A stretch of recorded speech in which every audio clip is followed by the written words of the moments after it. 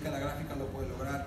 He visto mucho talento en México surgir y surgir en el momento en el que tenemos la oportunidad de dar a conocer mayor información, hacer uso de internet, hacer uso de un blog, de muchas cosas uno puede dar a conocer la gráfica o no meramente la gráfica, el diseño en general. Salir adelante no es una cuestión de termino la escuela y salgo, salir adelante desde la aula. Uno no sale siendo diseñador cuando termina la carrera. Hay gente que tiene siete años en una agencia de publicidad y no sabe qué hacer como un diseñador, no sabe cómo cobrar. No quiero decir que yo soy un experto, pero he aprendido muchas cosas a lo largo del camino estando en el campo de batalla real, que he aprendido y aprendí durante mucho tiempo cometiendo muchos errores.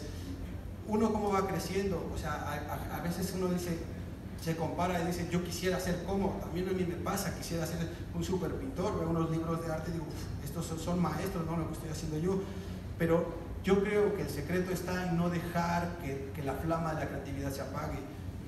La creatividad es un poco como, como unos carbones prendidos, si le soplas fuerte se enciende, pero no dejar que se apague, estar alimentando constantemente esa creatividad con lo que uno ve en cine, lo que escuchan musicalmente, lo que está comiendo visualmente, de qué te alimentas, en los, los círculos en los que te mueves, eso es lo que te va forjando realmente.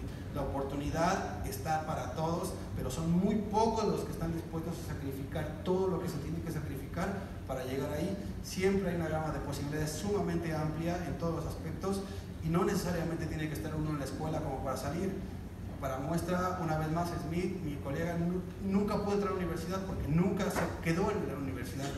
La, eh, hizo examen para la UAM como tres veces y no se quedó y en el momento en el que se quedó tuvo la oportunidad de entrar directamente a una agencia de publicidad como director de arte y eso lo catapultó, ahora tiene una agencia de publicidad, tiene una banda de música, tiene una marca de ropa y es un artista de pura cepa.